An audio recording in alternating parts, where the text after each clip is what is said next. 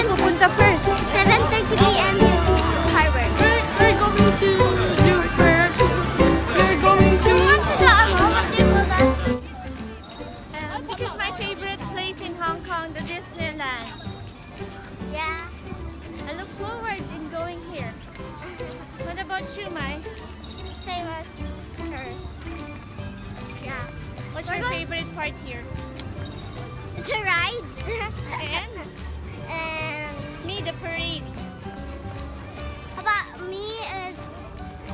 And the snow with the elves on it. Yeah, I remember once when I was a kid.